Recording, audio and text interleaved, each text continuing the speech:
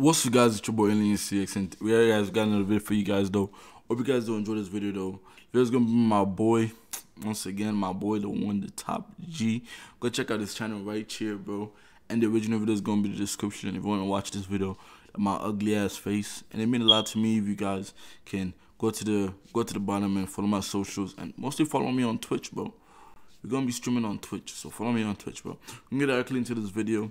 I hope you guys enjoy this video. This video is by my boy. We're gonna be watching um the untold story of Tupac. I'm gonna give you my own commentary on this. So yeah, let's get this shit started. Let's go. In the world of hip hop, there are only a few figures that have left as profound of an impact as Tupac, a multidimensional artist who transcended the boundaries of music, acting, and activism. Among his artistic pursuits, an intriguing and wild crossover almost happened. Tupac was set to audition for the role of Mace Windu in the iconic film Star Wars The Phantom Menace. No fuck no. Imagine Tupac being a but my boy. I just imagine that would be fucking crazy as hell. You have Tupac with a fucking ring gun being like, "I'm about to Jedi this bitch." I don't, I don't, I don't watch. I don't really watch. I don't really watch Star Wars, so don't roast me too much in the comments. But whatever. During an interview with Rick Clifford, the former engineer of Death Row Records, the label that Tupac was signed to, he shared a glimpse into Tupac's aspirations outside of the world of music. Clifford said that Tupac had been in the lineup for a role in the highly anticipated 1999 film Star Wars The Phantom Menace. According to Clifford, Tupac was a consideration for the character Mace Windu, a role that ultimately went to Samuel L. Jackson. Tupac was planning to meet with George Lucas and others working on the film to audition, but this was all prevented from happening when Tupac's life was tragically cut short in 1996. Rest in peace, Tupac, bro. Legend in the making. Le- I don't legend in the making. My boy's already dead. Legend forever, bro. Full on, bro. Rap star Tupac Shakur died last night after a brief life in a rough business. He was 25. But Tupac's potential involvement in Star Wars represents what could have been the merging of two cultural phenomenons, the legacy of such an influential rapper, and the timeless universe of George. My boy really fucking.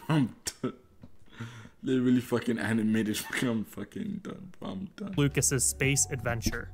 While many of the specifics surrounding Tupac's almost audition for Star Wars remain a mystery, the idea of him portraying a Jedi aligns with the rapper's persona. The Jedi characters, as depicted in the Star Wars saga, embody principles of justice, wisdom, and honor, attributes that all resonate with Tupac's own sense of social consciousness and his advocacy for marginalized communities. The notion that Tupac, known for his captivating stage presence and powerful lyricism, could have wore the robes of a Jedi in such a classic series is a pretty cool thought. For children and adults around the world, this crossover may have bridged a lot of gaps between the two fandoms, giving hip hop heads and Star Wars fans a common ground.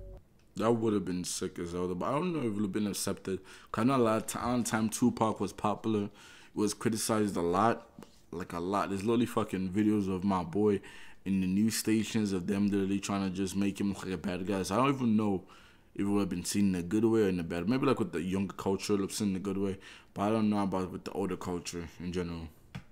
Samuel L. Jackson would go on to play the character Mace Windu, and he did a great job. I don't think I've ever heard someone complain about Samuel L. Jackson's acting abilities. But still, the idea of Tupac in that role brings up an exciting what if scenario. Exactly. My boy would have been fucking. My boy would have been lit because he was a good actor, bro. Tupac was a good fucking actor. Based on the movies he did, he was a good actor.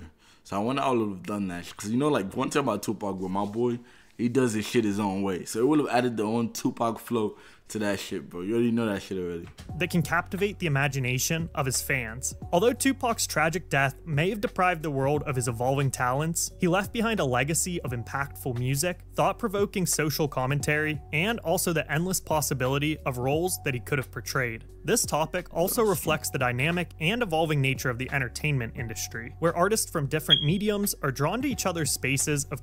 I remember this shit from fucking um um Power, bro. Fucking shout out to fucking Kanye West. That's Kanye West. Shout out to Kendrick, bro. Legend, bro. Creativity. Although he's mostly known for his rapping, Tupac was no stranger to the world of cinema, as he acted in more than several movies during yeah, his lifetime. The idea of Tupac's iconic persona, mixing with the popular Star Wars universe, paints a picture of what might have been the portrayal of a Jedi by an artist who was, in many ways, a modern day warrior for justice, through his music and activism. As we reflect on Tupac's influence, his almost audition for Star Wars stands as another reminder of the creative potential that was tragically cut short. Thank you for watching. If you enjoyed this video, please like and subscribe.